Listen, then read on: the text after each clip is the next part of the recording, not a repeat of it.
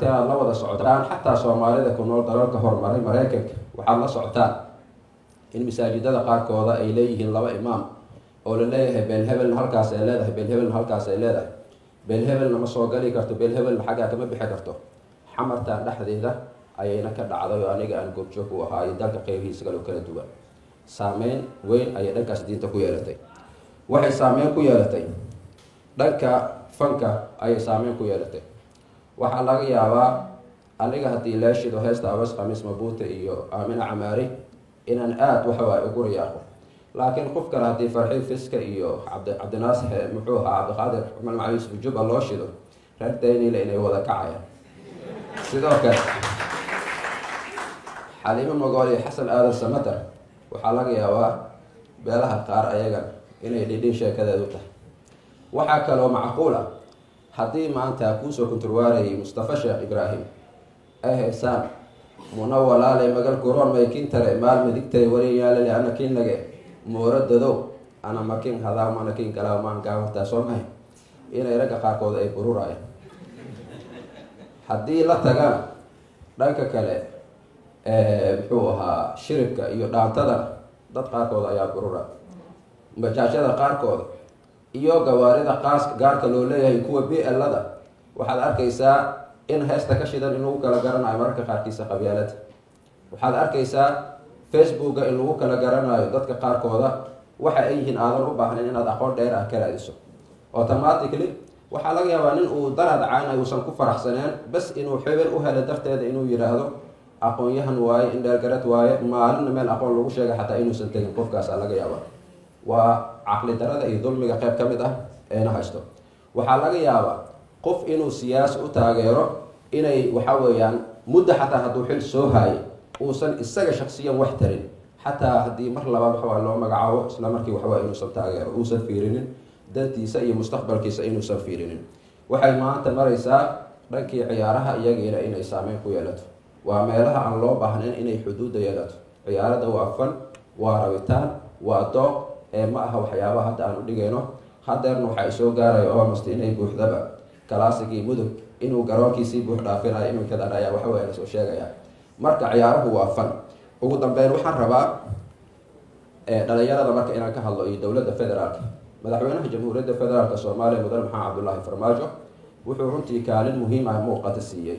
Dhalinyarada qeybaha kala duwan ee dowladda.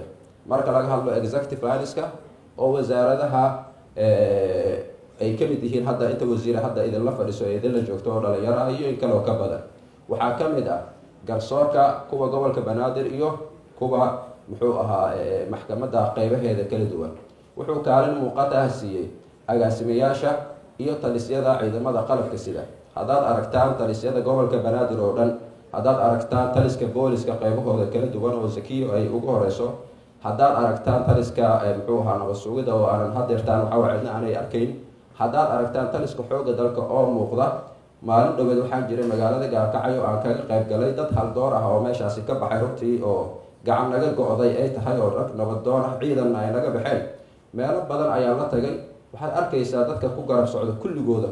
Waa dad dhalinyar ah. Hadday ahaan lahayn hogaanka ciidamada darab hadday ahaan lahayn hogaanka ciidamada gorgor ee gaarka u tababaran hadday ahaan lahayn ciidamada qeybta kow iyo labaatanaad ee xooga dalka soomaaliyeed ee dhankaasi waxawaa qaabilsan haddaad booqato hogaanada dhammaan taliska xooga dalka soomaaliyeedna isla sidaas ayaad ku arkaysaa taasoo keentay maanta ciidankeena inay duuli karaan una babac karaan jibin karaan ciida muxuu ahaa cadowga soomaaliyeed iyagoo aanan kaashanin amisom inay dhaqaaqaan. Taasina waxaa daliilkaaga ah dhibaatooyinka loogu geystay shabeellada hoose. Xamar maanta waxay ku nasanaysa waxa weeye jabka loogu geystay shabeellada hoose cidda u geysatayna waxa waaye waa laba iyo tobanka abriil waa qeybta toddoba iyo labaatanaad waa ciidamadeena gorgor waa ciidamadeena dalab oo dhalinyaro ah oo cidna aanay la socon. Waxaad moodaa in horumar halkaas laga gaaray. Xuquuqdoodana hadde haddaan nahay dowlad ku tiirsan dowladda kale mishaarkooda haddana dadaal badan ayaa laga bixiyey. Oo maanta anigoo xildhibaan ah wasiir ah mishaar ima soo dhicin laakiin ciidamadii qalabka sida mishaarkooda inay shalay iyo darad wada qaateen taasoo ay ku ammaanan tahay dowladda oo madaxweynaha. Madaxweynaha jamhuuriyadda federaalka soomaaliya aan maalinna loo soo istaajinaynin in xuquuqda khaaska ee muwaadinka ee shaqaalaha rayd ha ahaado ama ciidan ahaado inuu maalin cunay aan loo soo istaajinaynin. Afartan iyo sideed bilood ama afar sano xuquuqdooda si toos ah inay u qaateen ayaa waxa weeyaan tusaale ah. Doorashada iyo dhalinyarada. Dhalinyarada runtii halkaas ayaa dood adag nagu dhex martay sanadkiina soo dhaafay waa ka hadlay oo waxaan ku idhi haddaad rabtaan boqolkii toddobaatan iyo shanta la sheego statisticska inay micno samayso inay tayo yeelato ma ahan inaad noqoto in the minu liiska inaad ku jirto. Dadka la dalbana inaad ku jirto. Inaad noqoto on the table dadka decision takerska ah dadka decision makerska sunacal qaraar inaad ka mid noqoto haddaad rabto boqolkiiba toddobaatan iyo shan waxay yeelanaysaa markaad qof iyo cod taageertaan. Markaad u kala baxdeen nin walba ninkiisa uu taageeray ayaa waxaa laisla yimid doorashadii dadbaneed oo micnaheeda uu yahay awoodda ugu badan inay tahay in dhaqaalo lagu tartamo. Dhalinyaro maanta dhaqaalo haysatana aynay jirin. Aqoonna waxa weeye aysan shaqaynaynin. Mar haddii doorasho dadbani wax la mid ay timaado waa aafadan haysato. Laakiin maanta fursad ayaan haysanaa oo aan kaga gudubno. Talooyin ayaan ku soo koobayaa talada ugu horeysa waxay tahay dhalinyaro waxaad la socotaan halganka iyo loolanka maanta yaalo ma aha loolan qabaa-ileed. Ma arko beelo is haysta ma arko oo mag iyo maal isku haysta ma arko. Daaq iyo beero isku haysta ma arko. Laakiin waxaan arkaa ma arko sidoo kale kuwa diin isku haysto ma arko oo fikrado iyo madaahib isku haysta ma arko. Waxaan arkaa kuraasyo sidaasadeed is haysata.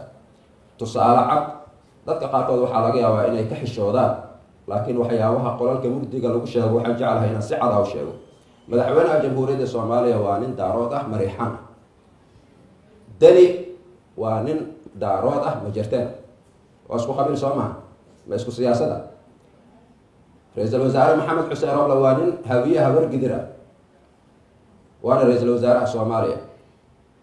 Cabdikariin xuseen guuleed waa habar gidir hawiye ah sacad ah. Isaga uu qabiil yahay soo maha ma isku siyaasada? Ninka la yidhaahdo cumar filish iyo maanta xasan sheekh ma siyaasada? Waana isla qabiilkii soo maaha caqliga yaana looga ciyaarin marka waxaa la isku haysto qabyaalad mehe waxaa la haysto waa siyaas ee quraanka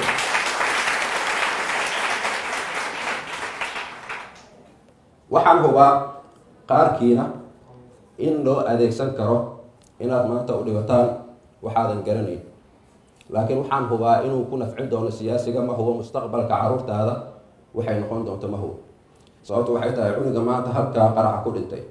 Aabihiisa iyo kuwa lamidka ah. Waxa aan u hayno ka siyaasiyiin ahaan waxaa weeyaan cambaareen warmurtiyeed allaha u naxariisto. Inta dhimatay allaha u naxariisto inta dhaawacana allaha bogsiyo ma wax ka badanaa laydin haya ma jirtaa maanta fikir siyaasi nin u dhintay ama fikir kaloo qabiil nin u dhintay? Ninka dartiisa uu u dhintay inuu guriga ugu tagay maanta uu ka balqabo hooyada garoobta ay joogta ee maanta odaygeeda ku maqan yahay micno darada ama carruurta agoomanka ah ka warqabo ma jirtaa noloshooda iyo aayahooda. Caqli waa inaan yeelana fikirkeen waa inaan kor u qaadnaa aragtiyaad leedahay inaad dowladdaada taageerto aragtiyaad leedahay qofka mucaaradka inaad taag